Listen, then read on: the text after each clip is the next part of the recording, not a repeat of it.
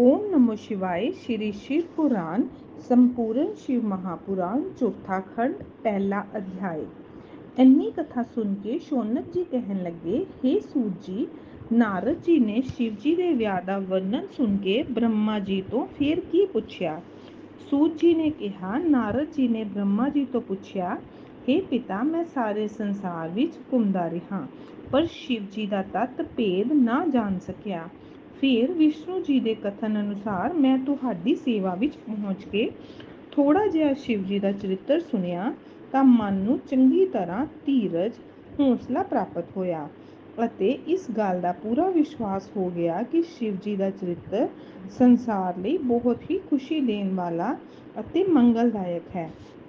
ਇਸ ਲਈ ਹੁਣ ਮੇਰੀ ਇੱਛਾ ਹੈ ਕਿ ਤੁਸੀਂ ਮੈਨੂੰ ਇਹ ਦੱਸੋ ਕਿ ਜਦ ਸ਼ਿਵ ਜੀ ਦਾ ਗਿਰਜਾ ਨਾਲ ਵਿਆਹ ਕਰਕੇ ਕੈਲਾਸ਼ ਪਰਬਤ ਤੇ ਸੁਸ਼ੋਭਿਤ ਹੋਏ, ਤਦ ਉਹਨਾਂ ਨੇ ਭਗਤਾਂ ਨੂੰ ਸੁਖ ਦੇਣ ਵਾਲੇ ਕਿਹੜੇ ਚਰਿੱਤਰ ਕੀਤੇ ਅਤੇ ਹਿਮਾਚਲ ਤੋਂ ਵਿਦਾ ਹੋ ਕੇ ਕਿਹੜੇ-ਕਿਹੜੇ ਕੰਮ ਕੀਤੇ?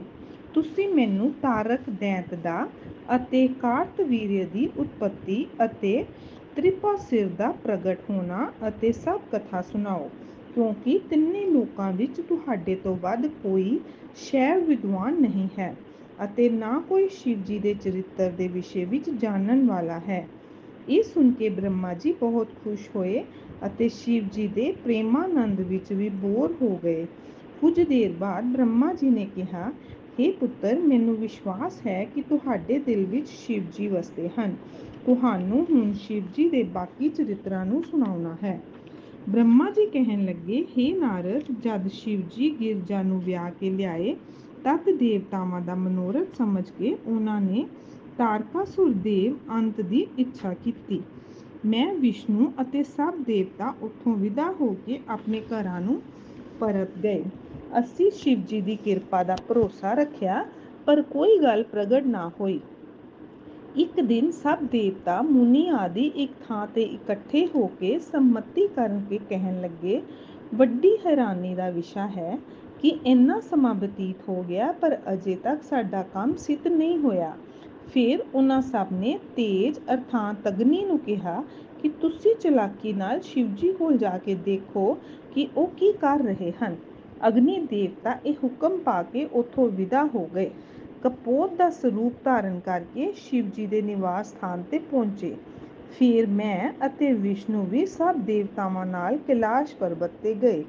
ਜਦ ਅਸੀਂ ਲੋਕਾਂ ਨੇ ਸ਼ਿਵ ਜੀ ਨੂੰ ਵੱਟ ਦੇ ਰੁੱਖ ਹੇਠਾਂ ਨਾ ਨਾ ਦੇਖਿਆ ਤਾਂ ਗਨਾ ਨੂੰ ਪੁੱਛਿਆ ਕਿ ਸਦਾ ਸ਼ਿਵ ਜੀ ਮਹਾਰਾਜ ਕਿੱਥੇ ਹਨ? ਉਸ ਸਮੇਂ ਗਨਾ ਨੇ ਇਹ ਉੱਤਰ ਦਿੱਤਾ, ਉਹ ਤਾਂ ਬਹੁਤ ਸਮੇਂ ਤੋਂ ਘਰ ਦੇ ਅੰਦਰ ਗਿਰਜਾ ਦੇ ਕੋਲ ਹਨ, ਅਜੇ ਤੱਕ ਬਾਹਰ ਨਹੀਂ ਆਏ। ਇਹ ਸੁਣ ਕੇ ਵਿਸ਼ਨੂੰ ਜੀ, ਮੈਂ ਅਤੇ ਦੇਵਤਾ ਆਦਿ ਸਦਾ ਸ਼ਿਵ ਦੇ ਭਵਨ ਦੇ ਦਰਵਾਜ਼ੇ ਤੇ ਗਏ ਅਤੇ ਉੱਚੀ ਆਵਾਜ਼ ਵਿੱਚ ਉਹਨਾਂ ਨੂੰ ਪੁਕਾਰਿਆ ਸਾਡੀ ਪੁਕਾਰ ਸੁਣ ਕੇ ਹੀ ਸ਼ਿਵ ਜੀ ਉਸੇ ਵੇਲੇ ਗਿਰਜਾ ਨੂੰ ਛੱਡ ਕੇ ਬਾਹਰ ਆਏ।